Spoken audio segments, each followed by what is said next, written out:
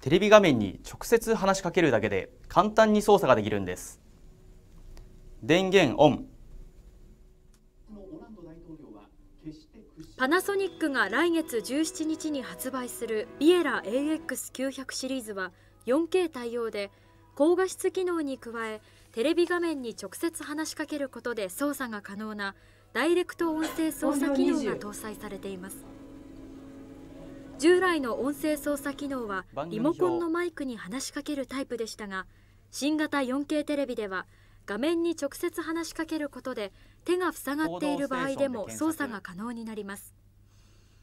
テレビ市場は2011年の地デジ切り替えを境に販売数が低迷していてパナソニックは高機能 4K テレビの投入で2020年の東京オリンピックに向けて買い替えを促したい考えです